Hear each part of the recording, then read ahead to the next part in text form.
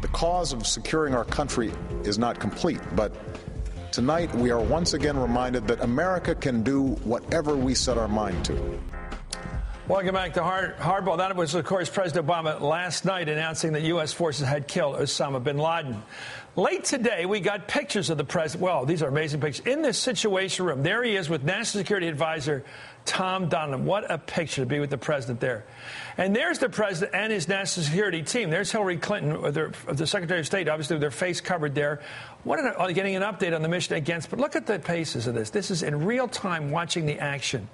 Well, the surprise news showed competence by the president, many of us think, and his team. So, what's the impact politically? Does this news reshape the 2012 outlook we've been covering all these days on Hardball? John Harris is, of course, Politico's editor in chief, and Major Garrett. I wanted two heavyweights on tonight, and I mean it, gentlemen. I really want to have a sense of this we see our presidents through different windows, and sometimes we see them through the window of how much gas cost or the latest scandal or whatever else. Uh, here we see the president as operational a president leading an operation in a way we've rarely seen one before, where he's calling the shots month by month, and then we get the replay.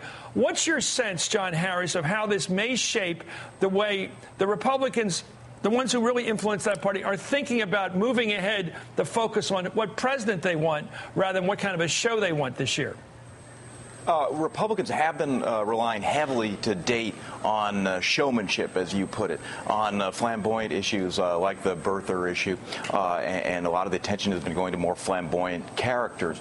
I think right. this is going to mark a pivot point, and that Republicans, if they want to be seen as having a serious chance of, of beating President Obama, are going to have to establish themselves first and foremost as serious people. I, I don't think there's any debate that's going to take place. That, President Obama, whether you like him or don't like him, is seen as a serious presidential contender, and, and it's going to be okay. hard for Republicans to run uh, to run on showmanship.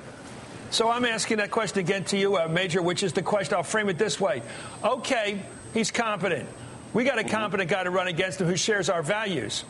That's, but we have to have that competence match first now. It seems to me that's the change. My thought. Yours, what's yours? Yes. Competence makes a difference, Chris, but it also makes a difference in the context of what the country cares about most. When Bush ran for re-election in 2004, the country was very focused on security, and his calling card was, there's been no attacks, I'm chasing the bad guys.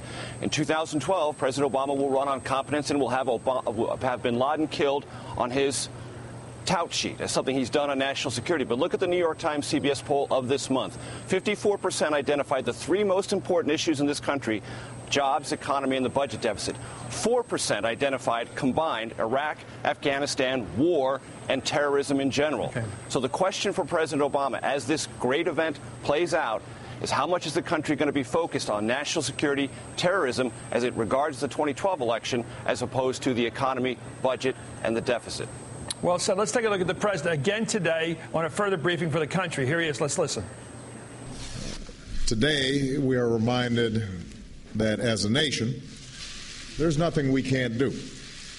When we put our shoulders to the wheel, when we work together, when we remember the sense of unity that defines us as Americans.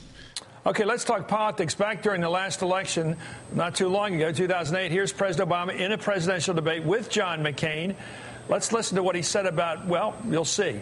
Let's listen. If we have Osama bin Laden in our sights and the Pakistani government is unable or unwilling to take them out, then I think that we have to act, and we will take them out. We will kill bin Laden. We will crush Al Qaeda. That has to be our biggest national security priority.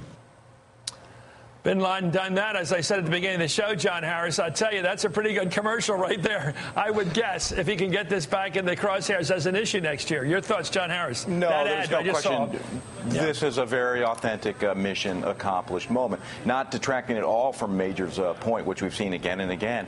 Uh, we saw it in 1992 when uh, President George H.W. Bush sought to, uh, re-election, and the victory in the Iraq War didn't do much to help him. It is true that the issues uh, that are most salient, it might not relate to national security next year. Nonetheless, it is a powerful mission accomplished moment that I think radiates, uh, as you say, an impression of competence, effectiveness, uh, command, uh, well beyond beyond this specific issue that's going to help uh, President uh, Obama in, in, in, all sorts of different ways. Last thought, Major, about that. How does he show competence about gas prices? Just get them down. That's what competence is, right?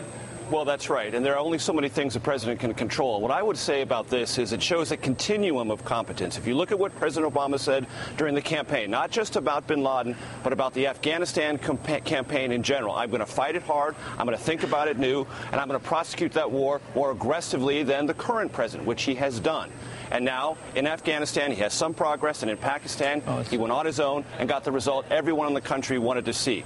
Secondarily, Chris, I think it's enormously important what we saw last night. Young people around the country, here in Washington, of course, and in New York City, coming to the streets to celebrate. Young people who vote and whose lives have been defined by the war on terror and all the things it has inflicted upon us, not only psychically, but operationally. I believe in one element of the youth vote and energizing the Obama campaign for 2012, this will have enormous impact because these kids remember what it's like to grow up with bin Laden as sort of the biggest monster in their world. He's now gone. The war on terror feels more effectively fought under Obama than it may have to them under President Bush. I think wow. that will have residual effect. So smart. Great analysis. I hadn't thought of it that way. Thank you, Major Garrett, the National Journal. You're a good guy. Thank you, John Harris, a great biographer of President.